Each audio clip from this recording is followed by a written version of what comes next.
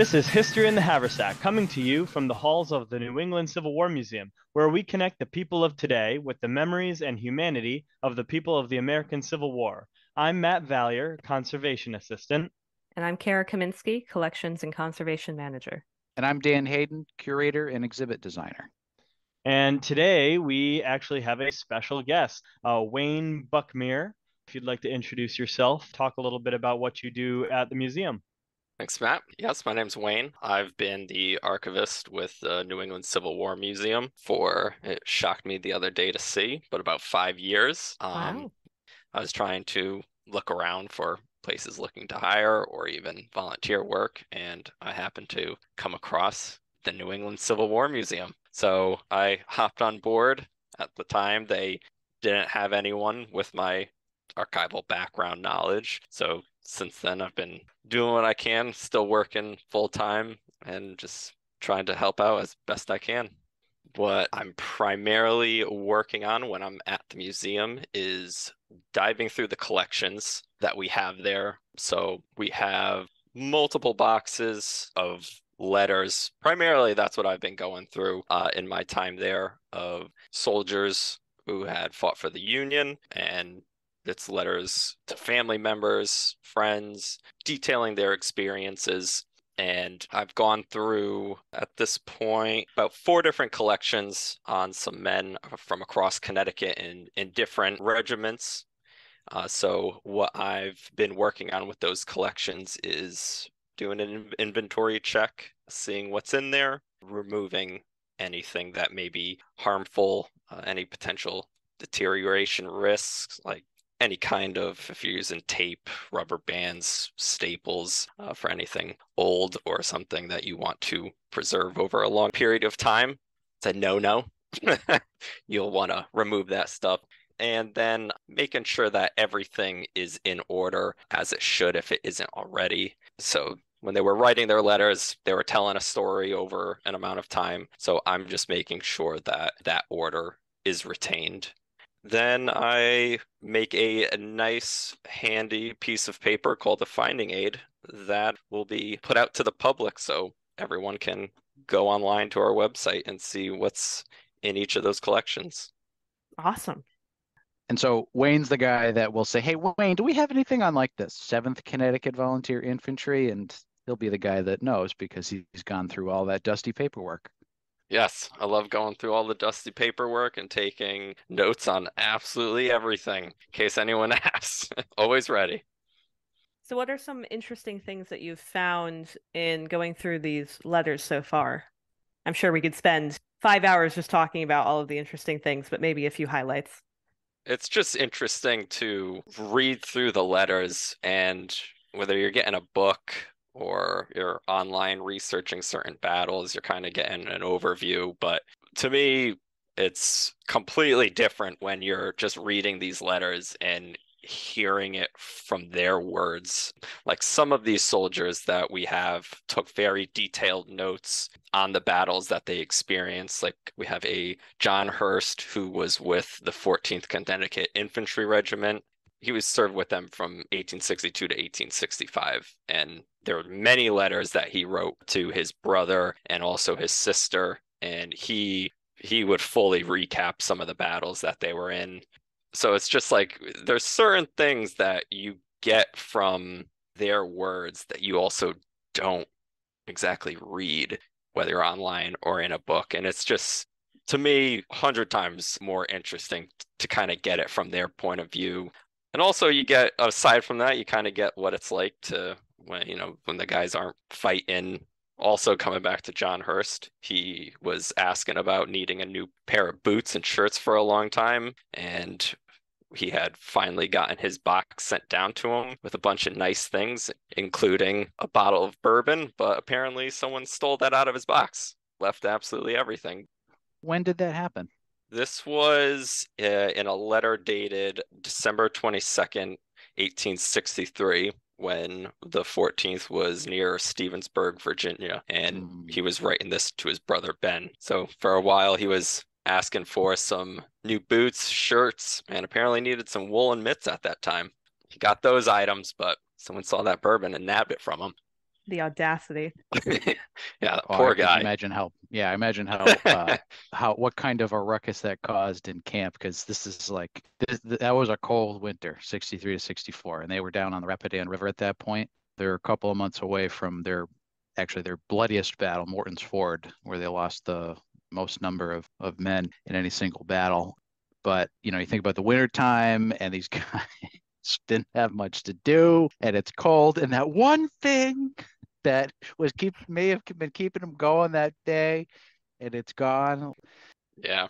But speaking of Morton's Ford, another interesting piece I noticed about the letters that I've gone through, and Morton's Ford is a good example, is sometimes when these men are writing about their battles, they don't say, oh, this was the Battle of Morton's Ford.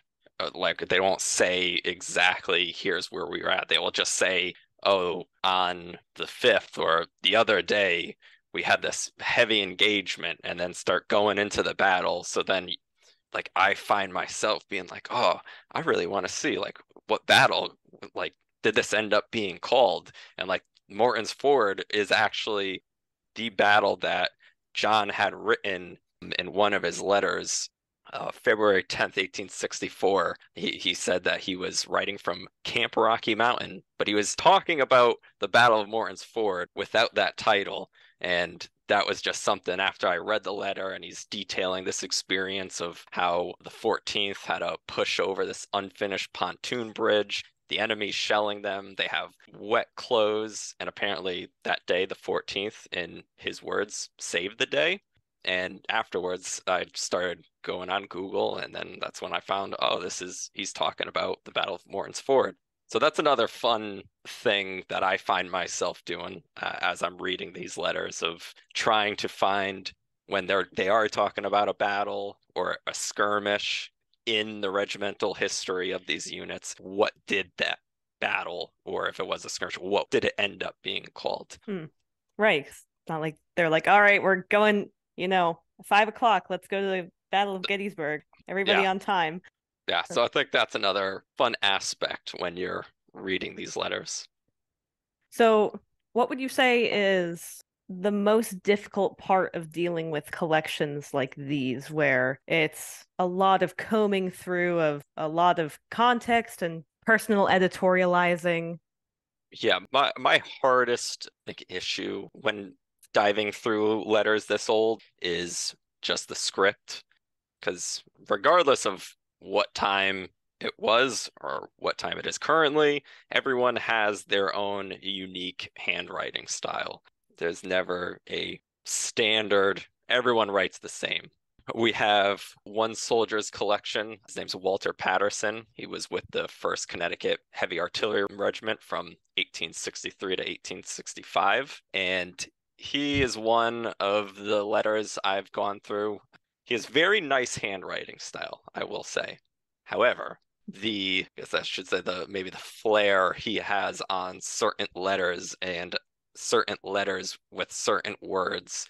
You definitely do need a a pretty good eye or a very very strong knowledge of diving through script this old to pick things up. So I'd probably say the transcription is the hardest part. I have no problem. I've always been interested in history, especially military history. So never had a problem when it comes to researching the aspect of those things. But when it comes to fully reading each letter, that's probably where I end up taking my most time.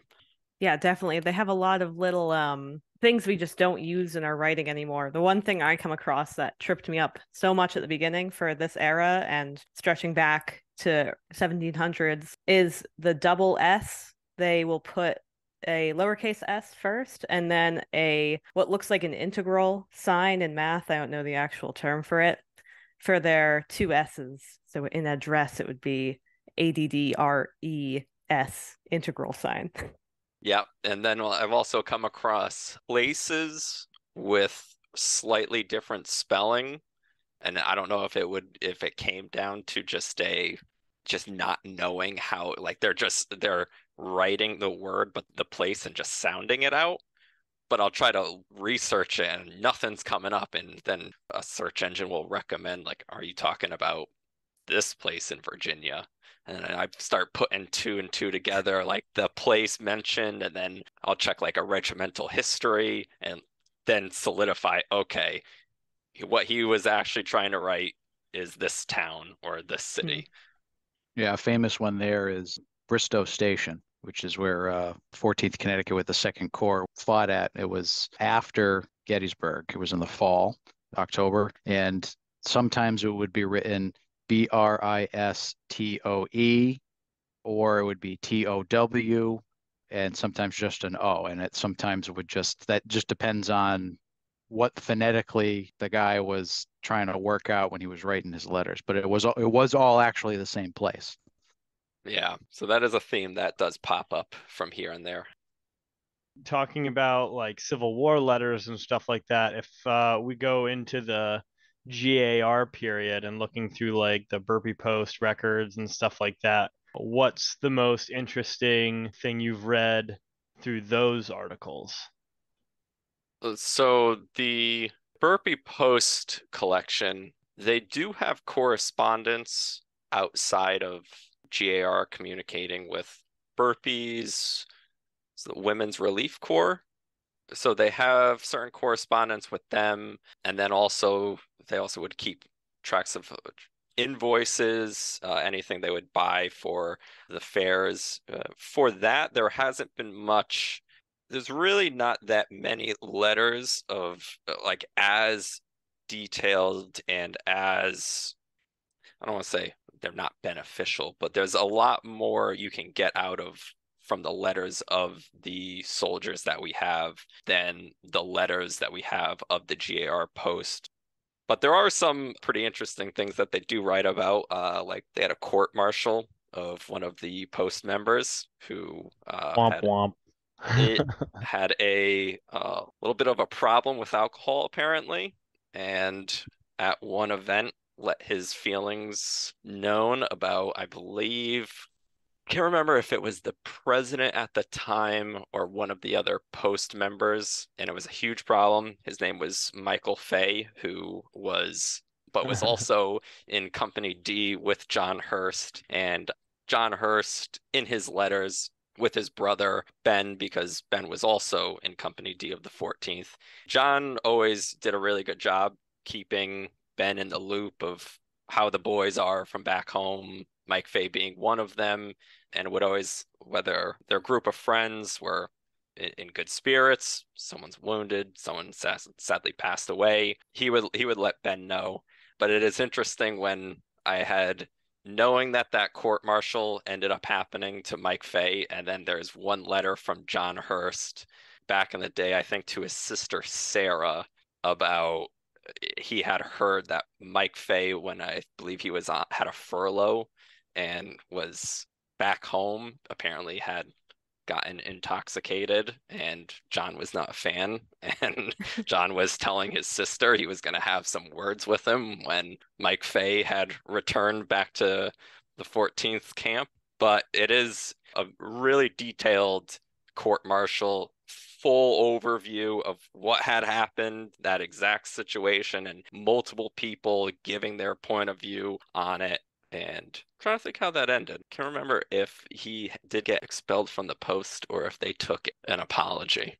I do know well, he did write a letter to the post about like a couple pages apologizing for his actions. Well, we put a flag on his grave every year, so hopefully he uh hopefully he was in good standing. That's fascinating though. That, that especially with the connection you made between, you know, what was wartime and what was post-war. So you have you had John who was keeping Ben informed and this was I'm assuming this was after July of 1863, right when Ben was after he was wounded and he was transferred over to the Veterans Reserve Corps. John stayed with the regiment through the rest of the war, so he was keeping Ben updated with this information.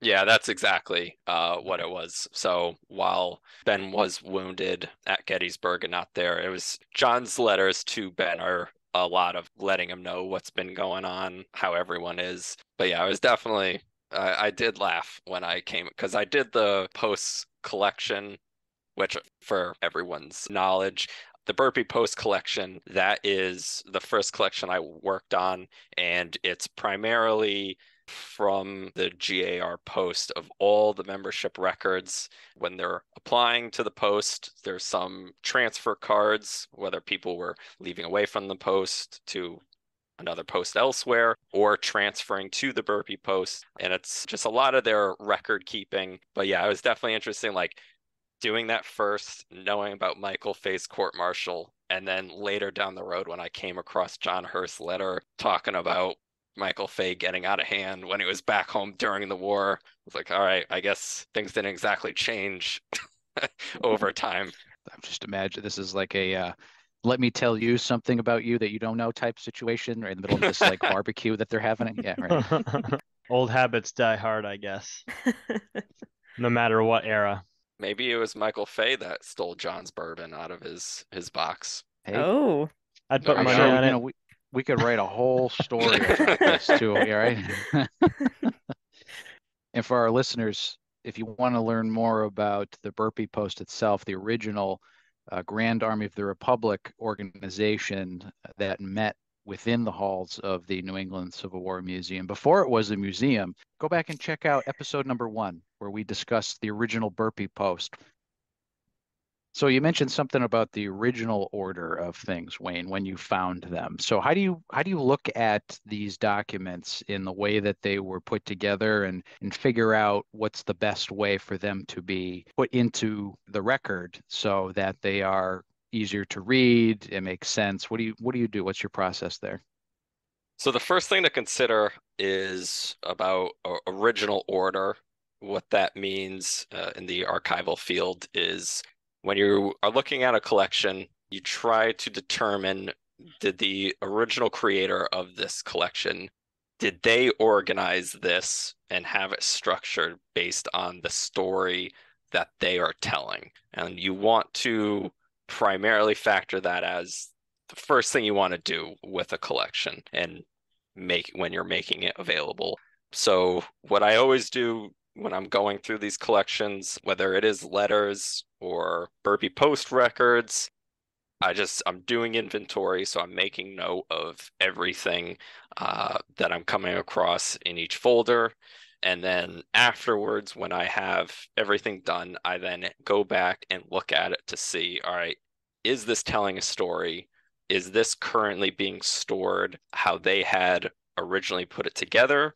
Or does it look like some hands have been involved? Um, you know, people over time going into a box, pulling a letter, saying, oh, look at this, and then just happen to throw it back in the box and just completely unorganized. So if everything does seem to be that it was kept as intended, then I just leave it as is. I just have my notes to say how exactly it's organized, or with the the Burpee Post records, that was something because of all the different items in their membership records, correspondence from the post, invoices, a whole there's the the Burpee Post records. That's our largest collection right now. There's about seven boxes worth of information, but that was something that over time people did mix things around. So I had reorganized it, the collection into a much more beneficial structure if someone was coming into the museum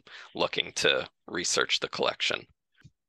so archivists have a very interesting kind of combination of responsibilities then to make decisions between how collections should be kept while still keeping the end user of the researcher in mind and making sure that they can actually do effective research, right?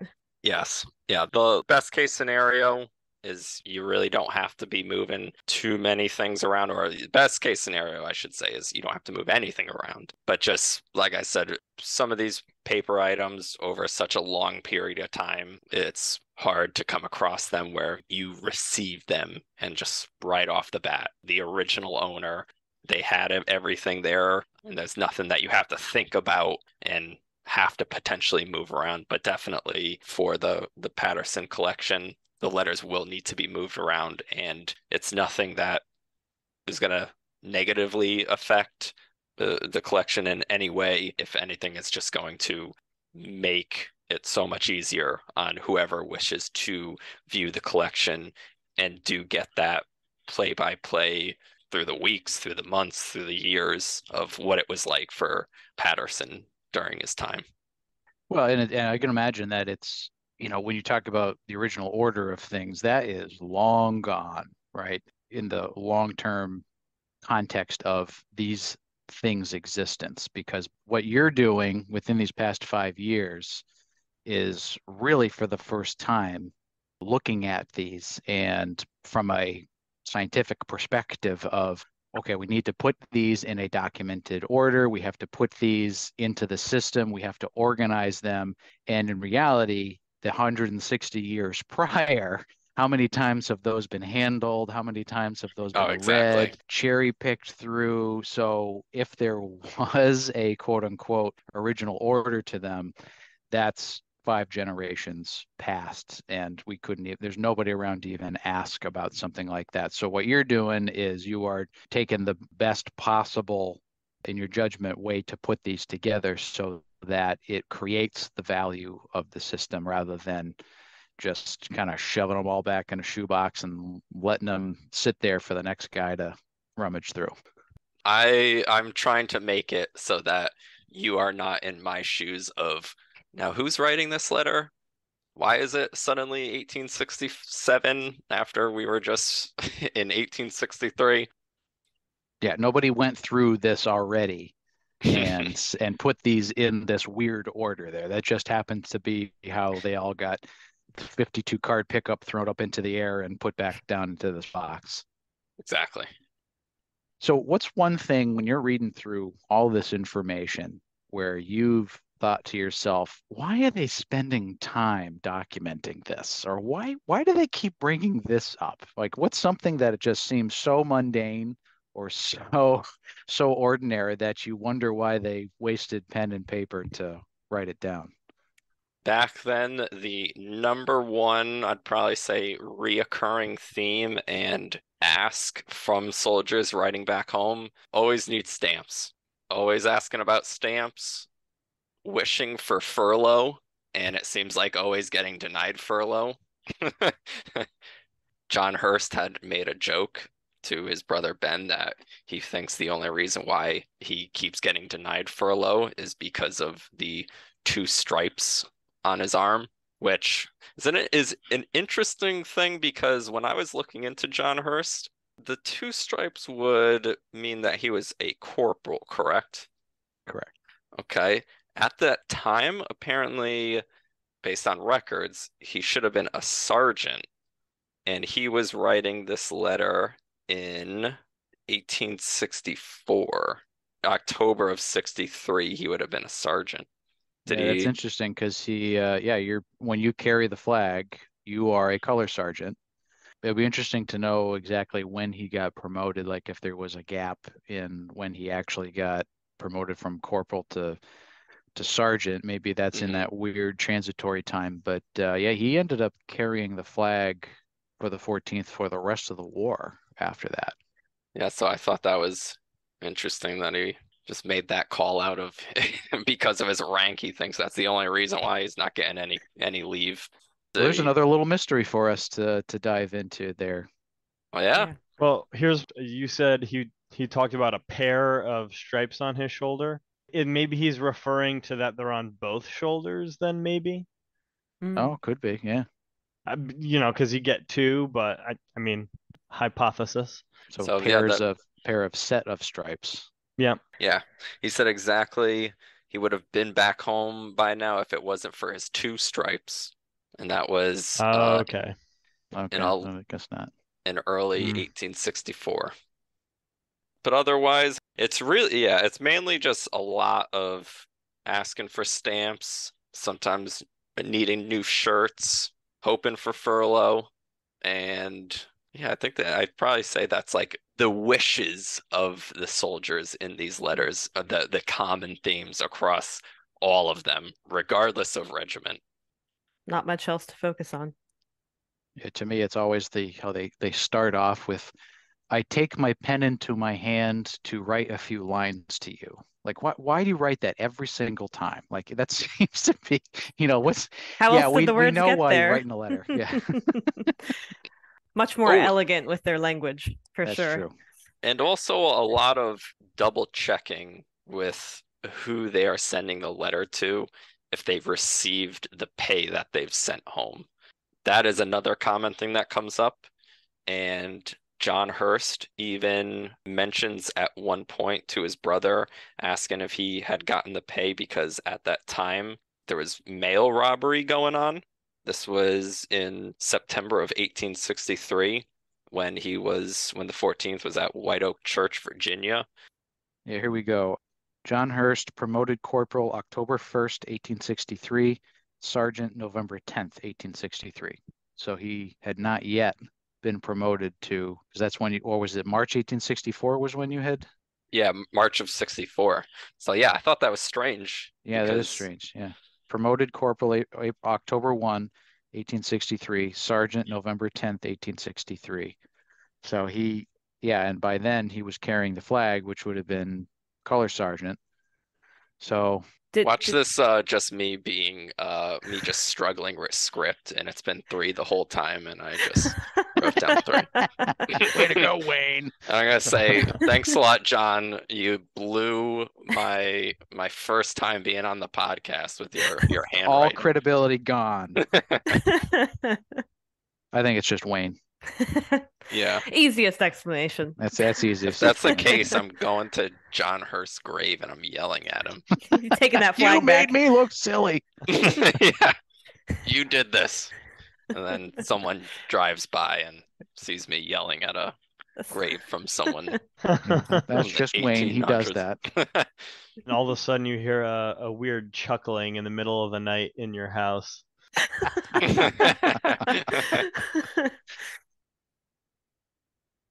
Anything uh that like you want to focus on that you feel you'd be remiss to not share while in this space? There, I did come across something that because like uh, how I mentioned before, like there's certain things that come up, and I'll try to research it on the side to see even more information on. And at one point, uh, in a July 4th, 1865 letter from Walter Patterson, he had written that rations were so bad of only pork, salt horse, and hard bread that part of the regiment mutinied and 250 men were sent to Castle Thunder in Richmond, which was a prison. And apparently, three regiments at the time in Richmond had also mutinied, but I could not find a record about that happening at that time, Hmm. unless they kept it under wraps. What uh what was the date on that? July 4th, 1865. Oh, okay. So Castle Thunder obviously was a, a prison in the Confederacy, but at that point, Richmond had been captured. So this was post Civil War, really, at that at that point, because Richmond had been evacuated April 2nd, April 3rd, and now we're talking about federal occupation. And First Connecticut Heavy Artillery was one of the occupying forces in the area. So Castle Thunder, they might have taken over by federal forces and continued in some fashion as a hey let's hold a bun- whole bunch of people here. So at that point it's possible. So we're talking july 1865 after things have settled down a little bit and uh, the union is now in full control. So maybe they're saying hey you know i'm going to send these guys uh, teach them a lesson a little bit. Yeah, so I thought that was interesting because I, I did my best to try to look up, like, oh, is there actually a record of this mutiny? And I just could not find it. Well, you know, it also could be, you know, so at that's at the point when the federal government's starting to think about demobilizing a lot of these these units here. So this is at the the tail end of their service, but it was the beginning of when they were all starting to be sent home. But I also like, aside from the the interesting pieces of of history and trying to research into them, you also sometimes get some funny stories. There is a collection of letters from George H. Nelson, who was in Company C of the 25th Connecticut Infantry Regiment. from 1862 to 1863. And he wrote on June 12th of 63 while at Port Hudson during the siege that they were speaking to the Rebs from their fire pits. And I guess a rebel soldier was asking if they had any food over there. And someone responded back that they did. Why doesn't he? Why don't they come over and and get some? Obviously, to also capture them, which then uh, started some harsh words between both sides. But then after that quieted down, one of the rebel rebel soldiers then asked uh, how their their whiskey supply was, and the the union asked them about uh, how their cornmeal supply was. I, it didn't seem like there was any kind of exchanging done, but I just thought that was interesting of how they're swearing at each other, and then someone just decides to have the idea to ask about their whiskey supply. it's not doing great. It's getting stolen. Victorian taunts, yeah. you can kind of see, you can kind of put together like the attitude of the progression of that battle from both sides too, because uh, June 12th, that was like right towards the end of the siege of Port Hudson. There was already the first attack. I think it was like the end of May, and then I think the second attack was like June, and then I think the official surrender was like early July. I want to say. So it's interesting to like see the progression of that one historical event through the eyes of people who are actually there like that. Yes, uh, Nelson's letters he does a really good job at because he was there the the whole time leading up to the siege of Port Hudson and, and then also he, he ended up getting wounded there July 16th of 63 he was writing about he was writing to his mother saying that he was in the hospital recovering from the wound, but he was talking about his experiences there. He mentioned rebel sharpshooters, the fortifications that the Confederate Army had set up, and also that there were a lot of sick men in Nathaniel Banks' army at the time, which when I did my own research, it was surprising to see that there was, I think they said almost 5,000 in Banks's army. That did they succumb to diseases and like sunstroke, or just that they could have been hospitalized from that? Does anyone know? I think there is some truth to that. I don't know if it's either hospitalized or, or otherwise, but in the Ashbel Woodward Museum collection in Franklin, Connecticut, there was a guy in the 26 Connecticut who has a similar experience. And I think he talks about like people going down with sunstroke and stuff like that pretty frequently. Yeah. So, yeah, he, so Nelson's letters do give a really nice insight into the siege of Port Hudson and you're, you're following as it goes on. Uh, and even his letters leading up, like he, he mentions in March, on March 22nd, 1863, how he actually witnessed the USS Mississippi when it was set on fire and exploded and talks about like how huge of an explosion it was then afterwards talking about the the battle of irish bend which is going back to you know, some of the guys not mentioning, oh, this is the battle of blank that I was fighting at, and you kind of do your own research. I had to research the the time frame of when he was talking about a certain battle, and it happened to be of Irish Bend, and he gave some pretty good perspectives on on that battle as well with with his time with the 25th. You were talking about uh, you know recording his time in service, and I I would believe it. It was relatively a, a short time in service because I think wasn't a 25th uh, a nine month regiment. Yeah, got it. Yeah, because I Yeah, think they- most of the Connecticut guys that were down there were nine month regiments, I believe. Yeah, 24th was down there, fought at the Priest Cap at Port Hudson. 25th, that's where my cousin Sam Ellis was a part of. Yeah, they um they actually ended up spending more than nine months because Banks didn't let them go until they were uh, he was good and ready with them. So it ended up being more like 10 months, 11 months. But yeah, they they were part of that that campaign down there, and a lot of what they had experienced was right at the right at the tail end of of that large campaign. Has anyone eaten pickled eels before? Because Walter Chance I. Patterson loves them and needed them sent to him in Really? 1865. How do you Pickled acquire a eels. taste for that in 19th century Connecticut? I don't know. What does this even look like? It can't Must look be a good. southern delicacy. I have a I've- feeling it kind of looks like ring bologna, uh, but it's Oh. like eel. Oh, Jesus. It's just a Yeah. guess. I, I don't know if that's actually how it looks, but All right, I'm I had to looking at put it money right on it. now. No, it looks so much worse. Ew. yeah, I it looks say, why bad. did you look that up? Because I I like to suffer, apparently. Oh, it looks like if you took the inside of an oyster and you just pummeled it into a mush. Yeah, That's so That's the when I type of thing where you, you always wonder, like, who's the first person to just look at something like that and say, "Oh, let's eat that." Somebody who's really desperate. You know, it has Oh. origins in the United Kingdom. Oh, that makes so much sense. Well, there you go. Oh my god. Hey, we okay, actually, I, we have less than 1% of listeners who are from the UK. We love you. Thank you for the country, but there's so much good food out there. to have to resort to pickled eel. I mean, of all the things that you could pickle, Next segment, New England Civil War Museum tries pickle deals on camera. You know, oh no, no. there is that guy who like eats the really, really old MREs. Oh, and he like did an episode where he like ate an original piece of hardtack from the 1860s. He, yeah, like we could totally piggyback on that.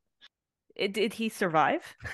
Uh, to my That's a good knowledge, I mean, he didn't drop dead on camera, so That's I don't I don't know if his stomach survived you know, after the shooting night. was done, but boy, and he's asking, he's in a letter, he's asking his Connecticut connections for it. Asking his wife to send him pickle deals. I really hope that she didn't, in fact, send those. That's got to be, you know, you bring fish into the office and you heat it up and everybody hates you. Imagine that at the already smelly camp and you crack open a jar of pickled eel. yeah, whatever guy he was uh, sharing a tent with was like, really? like we're we're already having to eat salted horse meat, like, and now you want to eat pickled eels? If this didn't already smell bad enough in here, Imagine trying to explain that when you're mailing it. So, what does this package contain? are there perishable items in this box? well, well, no, let me tell actually, it's you. pickled. Oh, true, true. Well, thank you for that disturbing image in my brain, Wayne. You're welcome. So about the condition of the letters and the condition of the paperwork here, what do we do about something that is really starting to fade, really starting to disintegrate? What are the conservation methods that we can use to kind of slow that process down? Of, of course, we're going to take pictures of all of these things, right, to digitally capture what they look like. But as for the item itself, what are the things that we can do to slow that aging process down to buy some more time? Some of the letters that I've come across are faded or because of how long that they've been folded. A lot of the letters were sent in extremely small envelopes. Like today's world, trying to like our, I feel like our smallest is not even close to some of the envelopes. Uh, It's like a two seeing. inches by four inches is kind Yeah. of the scale I'd give it. Yeah. That sounds about right. And sometimes there's multiple pieces of paper just folded and crammed into these envelopes. And some of them, they were just always folded back up to that exact size. And then just how they were stored, who knows? But when I do come across them, it's important to unfold them, uh, obviously, ex- as safe as I can. And also, if there is any kind of piece tearing, just like super careful and just unfold them with something called a bone folder, which is safe for you to run across the edges. And you can flatten these edges and store them a lot better than just crammed up together because, yes, over a period of time, where those folds are will start deteriorating the paper. You'll even see it sometimes on letters where there was a fold, it could have been a sentence, and now the sentence is you either can't read it at all or it's very hard to read. So that is what I do as I'm going across. Um, anything that I can unfold safely, uh, I'll do that. And I mentioned before, if there's anything mixed in there, uh, luckily I haven't seen it, you know, like staples being used, but um, there was when I was doing my internship with the Connecticut State Library working in their archives, there was a Civil War paymaster who his name was Edward Preston, who liked to keep certain records together using a nail. So he would use a nail through some of the pieces of paper. And as I was going through it, rust ended up forming on the nail.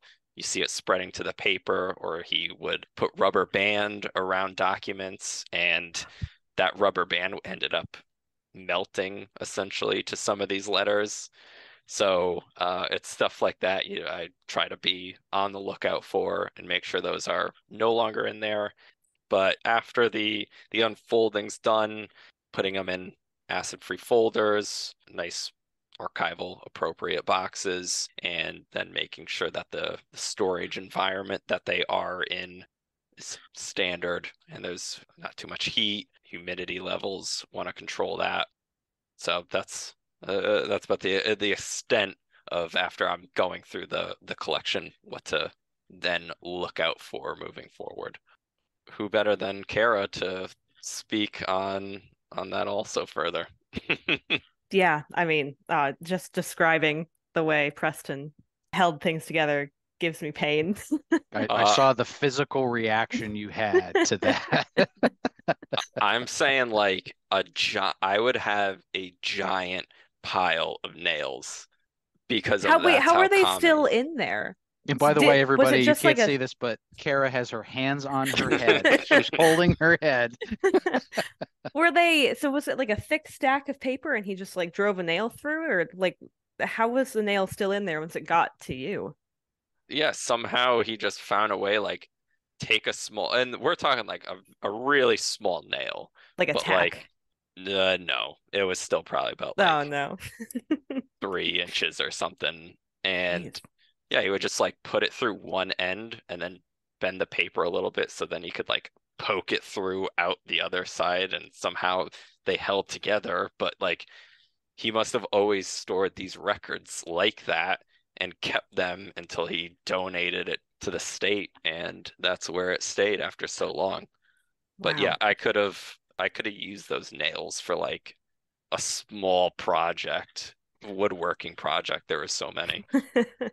so yeah, that's definitely like the biggest thing is getting rid of any foreign material that isn't essential to the object and its integrity and historical value. Now, for something like that, for Preston, maybe that's where you would say this was a habit of his. He drove nails through the papers and it gives us an insight to how he maybe thought the resources available to him. It shows a little bit of that what he had to work with in his life but that doesn't mean that it's like essential to keep as part of the object. That's just something you can note down because the harm that stuff like nails staples tape rubber bands is going to do to an object is it far outweighs any benefit you gain from keeping a material like that touching paper and paper itself is not it, it's stable but it's not a forever stability it's not as much as wood or ceramics there's a polymer in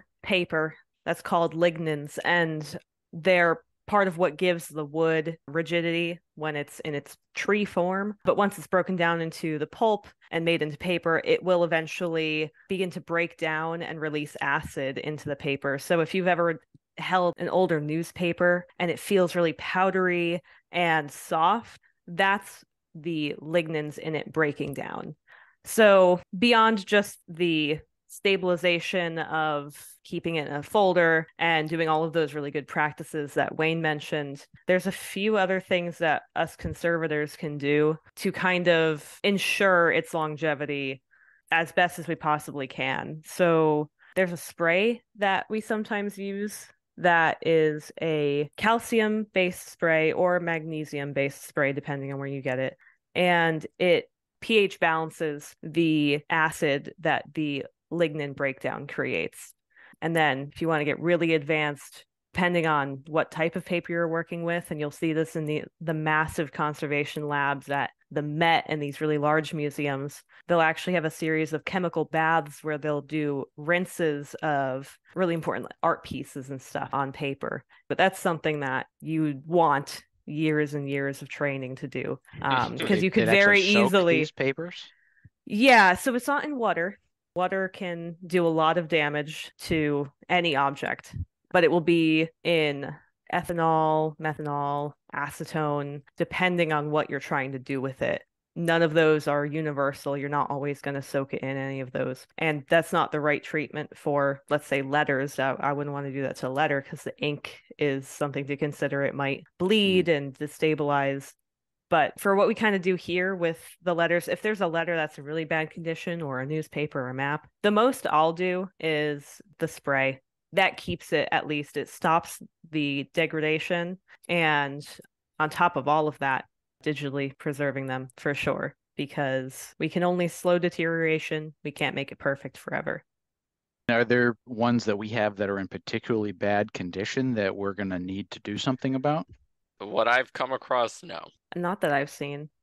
There's probably some that could do with a tear repair where you'd actually add on a category of paper called Japanese paper. And that's this long fiber paper. So it can be very thin and very see through. And then you can just do a repair with that. But I, I don't think we have anything that would be really any more intensive than like a quick fix.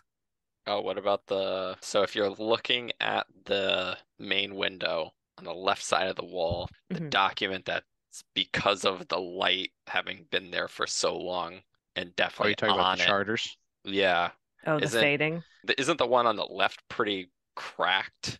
Yeah. For that, for like cracked paper, I would just want to get it out of the frame. Yeah, that's something we're gonna have to do, I think, relatively soon because Okay. uh so probably for that, we would want to consider what you're always suggesting is put having a high quality print done of it Mhm. and we'll put it back in the frame and maybe maybe no one will know the difference. Uh, Yeah.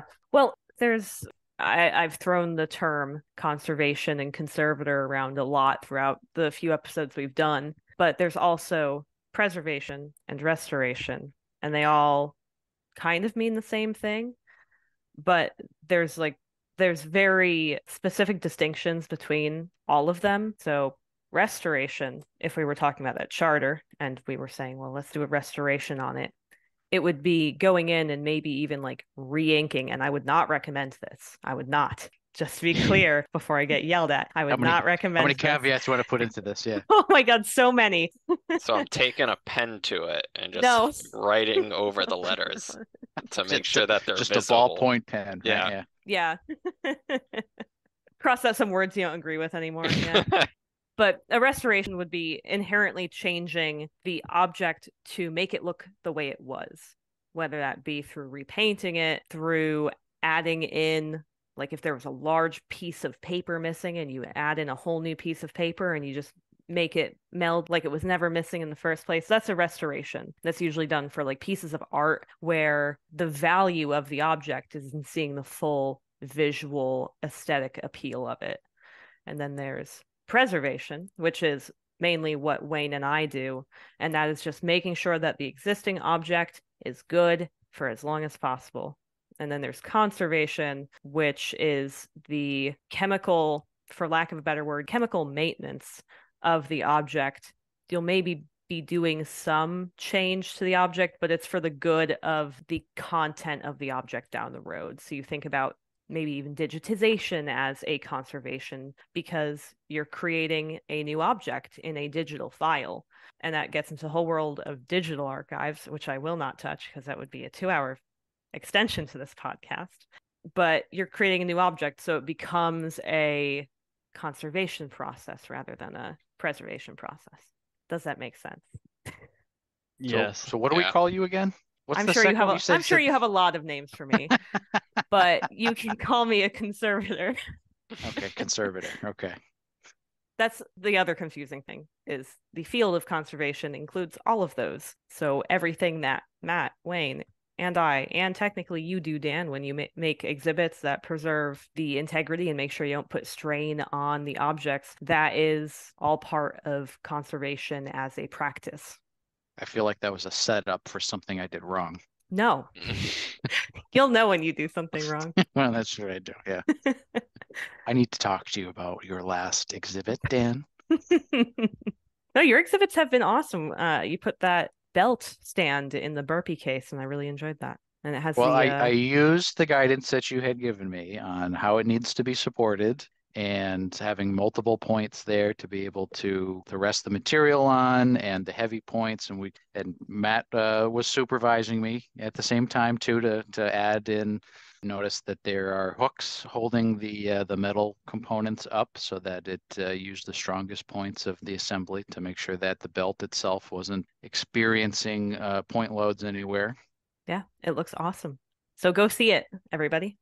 Always doing something new always adding in different things. And this is a uh, we're, we're referring to is thomas burpee's belt that of course he's the, man that the post that the gar held at the site he was named for. Through the years the museum has obtained some of his personal items that he wore close to the end of his his life which includes his belt that he wore. It's actually a uh, there not much of the leather is left has the red rot, which I've learned again from Cara and Matt describing the bad things that happen to these items over 160 years. But inside it has a linen webbing, which the leather was wrapped around. So there is a strong material there that is actually holding the pieces of it together. And we've we've set it up on a frame that mimics Burpee's waist, about waist height below his portrait. So the idea is that it, it is standing in front of you almost as if he is there occupying that space in front of you. So rather than just having a glimpse of a a artifact sitting somewhere in the case, this one is actually sitting how it would lay on his waist. So it's uh, gives you a vision of him standing there in front of you, which the idea is that it adds a little bit of humanity to it, a little bit more of a personal connection. And just by looking at like how the belt is adjusted at, like the length it's adjusted at, if that's true to his waist size, he was a pretty skinny guy. Yeah, it's uh what did we what did we measure there? I think it was uh he had to have been a 30 waist, something like that. yeah, if that, I, I would, I was gonna say like a 28 or a 29. Okay, yeah, that's I don't think I've worn pants that size since I was in like middle school. my 12 12 year old might be able to fit into that belt. And speaking of red rot, okay, you've mentioned this before in the past when we're talking about leather and organic materials as they gradually decompose over the time. What, what do we do about that? What what are the things that we can put into place to, I don't know, arrest or at least just slow down this this thing? So tell me what's what is red rot and how do we what do we do about it? So, red rot is what occurs on leather when the organic material begins to break down. It's usually on treated leather, though it can happen on any. They'll dye it or they'll add a um, a coating to it, and the acids in that will begin to work at pulling apart the leather, basically. It's unfortunately one of the things currently in museums that is untreatable. There's no fix for it you cannot physically stabilize it. There's no like adhesive or medium that you can put in place to keep it all together. You're going to lose that part of the object, or if the whole object is leather, you will eventually lose that object. The way that we can begin to prevent that loss as much as possible is to keep it within a low temperature and a low relative humidity. So, as Wayne was mentioning before, which is kind of the, the standard prescription for most museum objects and artifacts, is keeping it in a good environment for it to have the best chance possible for just staying as is. And of course, protecting it from other elements like light, putting it in a box to keep it away from other physical harm. But it's one of the tougher things right now. And people, of course, there's always advancements in the field people are trying to do research on how to fix that, but we've not found anything yet. In my own research, yeah, red rot is uncurable. Uh, one thing I was doing a little bit of looking into was this thing called Cellugel. I don't know, Cara, have you heard of Cellugel before? No.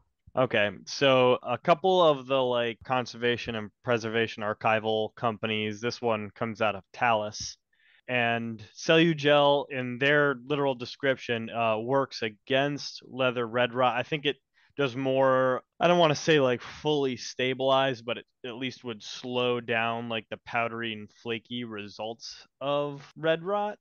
Cellugel, it says here, Cellugel is a mixture of hydroxypropylcellulose. Try saying that five times fast. And uh, Hydroxypropylcellulose. you said a lot faster than I did. Mic drop. um, Almost like and you have a biology background there, Cara, or something. right.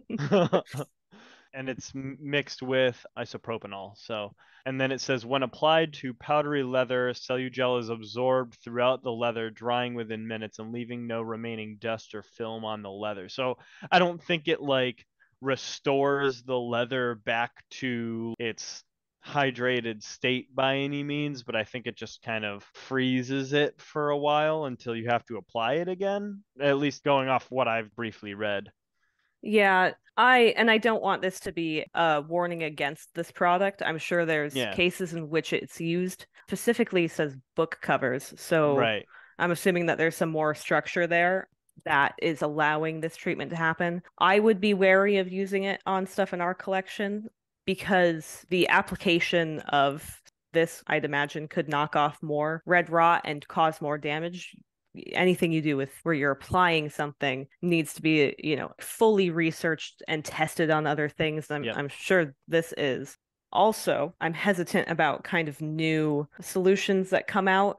I like stuff to be in the field for a while yeah an example I always used to kind of warn against buying products and hoping that it works. Scotch tape was originally advertised as an archival solution. They said it was mm-hmm. clear. They said it would it would never fade. It would never, you know, it wouldn't damage the paper. You could remove it. Forget I think that was in the 50s or 60s when they began advertising it for that use. Turns out the adhesive breaks down, it yellows, it leaves a stain on your paper, and when removing it, you likely end up tearing the paper. So you'll actually see a lot of, if you look at old conservation work or um, book repairs, especially in libraries, it, it was very cheap and cost effective. And I don't think anybody was wrong for using it. Of course, it was the best that they thought at the time. But a lot of almost like overprotection of objects and overwork of objects can lead to more harm down the road. So again, not saying that Cellugel is not the Oh, way yeah. to go. I'm sure there are very good cases for it, but often in conservation, there's no like one product fix all solution. Unfortunately, it would make my job a whole lot easier, but it's not. yeah yeah i i know i won't be using it hmm right away until like you were saying is like something a little more researched and Yeah. tested like on our own Yeah, and and again, going back to the differences between conservation and restoration Yeah. and preservation, you always want to really define why you're doing a treatment. hmm let's say for a book, the cover is important and valuable to you. Maybe it's a personal object or it is the very ornate piece and an exemplary artistic artifact. Then maybe it's like worth doing a large process to restore the cover itself. But if you're trying to maybe protect the stuff inside, there's a lot of human error to consider too. This is not an automated field. Somebody slips and it gets inside the book in the pages what happens then? Are we able to remove it? So it, it just leaves a lot up in the air that I would be I would be wary about. So thank you for joining us with this episode of Cara Says No. Eh, Cara gets the podcast um sued because I'm talking about a product that I have no idea about. just heard about. No, no hey on Cellugel. You guys are great. Thank you, Talas. I buy from you all the time. their ceos just sitting at home listening to this like Fuming. "Nope, i see how it is that Cara Kaminsky, I'm gonna get her. i'm gonna send her a jar of She'll never work in a museum time- again. Every every time you order something, there's a jar of Cellugel just in the corner of the box. Yeah. Should be passive aggressive uh, marketing from Talas. Talas, I love you. Please Yeah. don't take any of this seriously. So coming up, by the time you read this, read this, listen to this podcast, uh, the anniversary, the 162nd anniversary of the first battle of Bull Run slash Manassas will have passed. And just taking a moment here to just give you the Connecticut connection to that first Bull Run, which I'll refer to as Bull Run. Just I, I sent it. I tend to refer to the first battle as Bull Run and the second one as Manassas, and I just kind of got into this habit. Bull Run being, of course, the northern way to refer to it, and Manassas being the southern way. At First Bull Run, we had three regiments of Connecticut volunteers, first, second, and third, and they were the actually the three-month regiments. They were brigaded together under Erasmus Keyes with the Second Maine, and their claim to fame. It's actually kind of a uh, it's an interesting read. Uh, there's a book written called "The Wooden Nutmegs at Bull Run," and it is kind of a narrative of the Connecticut uh, experience during the first campaign of the Civil War, all the way from leaving from Connecticut and then through the battle and then what happened afterwards. Wooden nutmegs being a reference to kind of the nickname for people of the state are nutmeggers. Uh, apparently, uh, Connecticut was known as, you know, traveling peddlers, and one of the most common spices at the time was nutmeg, which you can still find today, of course. But the most intrepid of the peddlers at the time would put in wooden, carved wooden uh, lookalikes for nutmegs to try to get away with, you know, having something of lesser value that they would get a larger value from. So a wooden nutmeg is a little bit of a pejorative of a Connecticut, but here they're using it as a kind of a tongue-in-cheek reference to the toughness of the first, second, third Connecticut regiments at the first Battle of Bull Run. It's it's an interesting read, and he himself was in the third regiment of volunteer infantry. You can kind of get a sense of the competition that they had between the three of these by these little snide references that he makes in here. So they're talking about in the actions right up to Bull Run, the first big battle there. They're talking about who was uh, technically the first to be engaged, the first, second, or third, and shedding the first Connecticut blood and the first man who was shot. But he says if the first regiment claims the first blood shed in the cause, the second regiment can boast of having lost the first prisoners.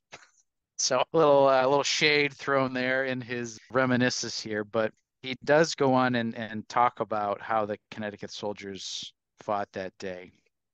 And part of it, he brings in the report from the brigade commander, Keyes.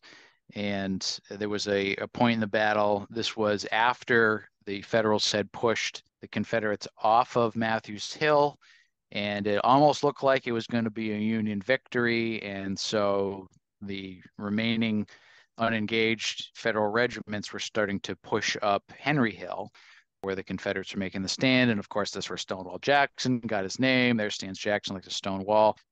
On the ridge of Henry House Hill, right out in, in front, the second regiment of Maine and the third regiment of Connecticut Volunteers, which is again is the regiment of the man who was writing this reminisce, reminiscence, L. Nathan B. Tyler, he brings in a component of General Keyes' report, which says the gallantry which, with the Second Regiment of the Maine and Third Regiment of Connecticut Volunteers, charged up the hill upon the enemy's artillery and infantry, was never, in my opinion, surpassed.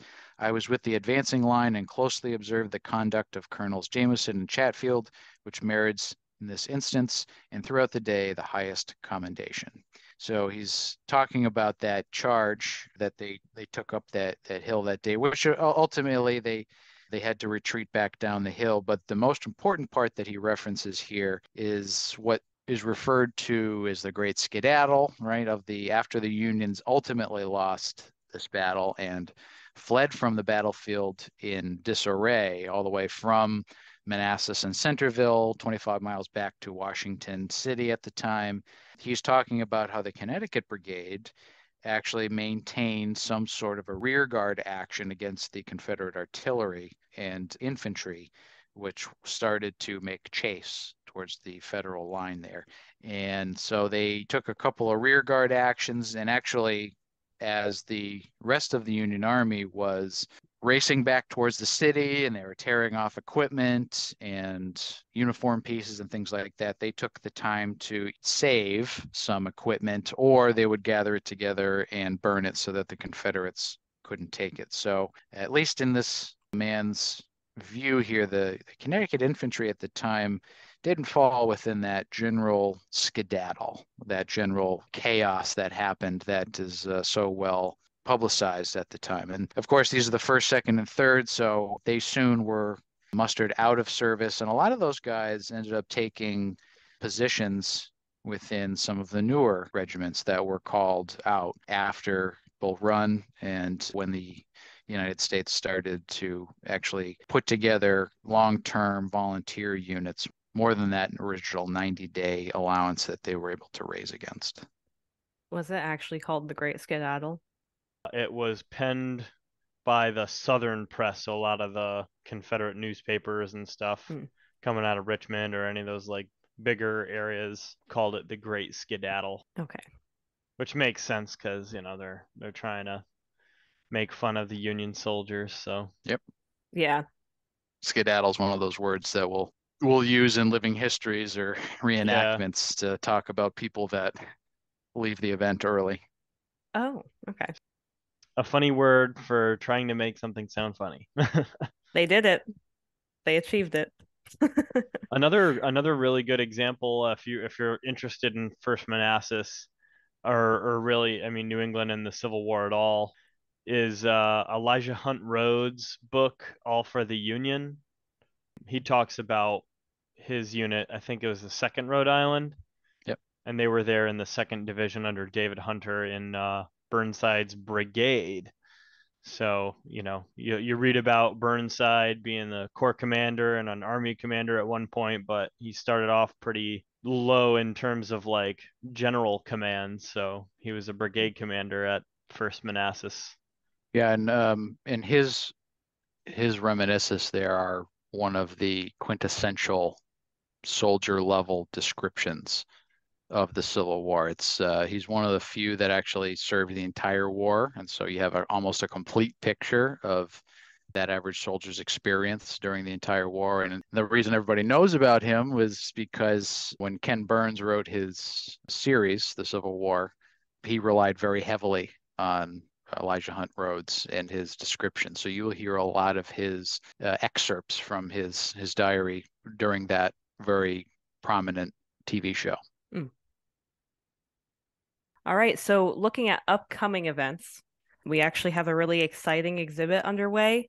We have been in connection with the Ellington Historical Society, and they brought uh, some really interesting pieces to our attention about three months ago.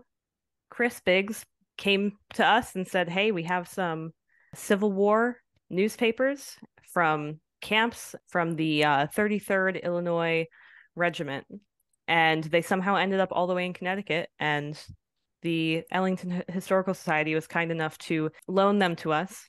And so we're doing a joint exhibit with them. And leading up to that exhibit, we're planning a lot of presentations and activities with them. So our first activity with them is on August 26th. We'll have an encampment outside of the Nellie McKnight House up in Ellington. Matt, I believe, will be in costume or in kit caught myself Dan.